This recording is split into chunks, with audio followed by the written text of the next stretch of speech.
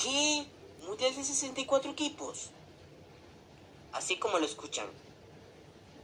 Un profesional me dijo que están proponiendo que el Mundial 2026 no sea de 48 equipos, sino de 64 selecciones. Esto aplicaría para el Mundial de Norteamérica y obviamente en adelante.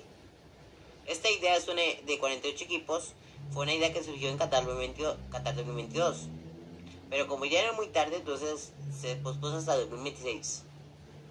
Pero solo imaginen un mundial de 64 equipos. Norteamérica 2023 con 64 equipos. Esto claro no cambiaría para nada el formato, sino que los grupos sería el mismo, pero los grupos en lugar de ser de 3 serían de 4. Se mantendría el mismo, dos pasan y dos hay eliminadas en la fase de grupos. Entre mucho más, mejor. Bueno, así lo dicen algunos. La desventaja es que eso traería muchos más costos, ya que sería mucho, mucho más caro organizar. Y bueno, ya se imaginan, un mundial no barato, más uno de 64 equipos es muy caro. Pero repito, eso es solo una idea, no es que ya se ha confirmado. Es una idea que se propone para el 26.